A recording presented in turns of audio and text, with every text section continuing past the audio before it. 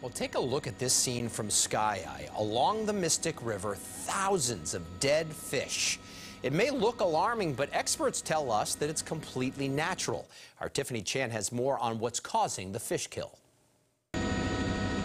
The view is both jarring and a bit concerning. It was a little alarming when I first saw it. I thought it was crazy. I, I, I, had to look it up. Thousands of dead fish piled up on the shores along the Mystic River in Everett and Somerville. You just can't escape the stench. The first time I smelled it, I thought it was a really bad low tide. And then, uh, you know, we usually come and picnic over here. Uh, and you know, I went to get a little bit closer and I, I, saw all of them. It was kind of insane. The Atlantic menhaden fish or pogies were likely driven to the Mystic by a predator. Patrick Herron heads the Watershed Association here and says while it looks scary, this die off is natural and has nothing to do with the water quality. As a schooling fish, uh, they can use up all of the oxygen and uh, die. And that's ultimately what happened.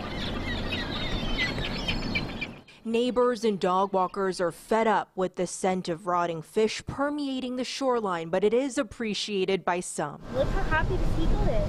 While this definitely looks and smells pretty disgusting, Herron says hiring someone to remove all these fish would be too expensive. So there's really only one solution.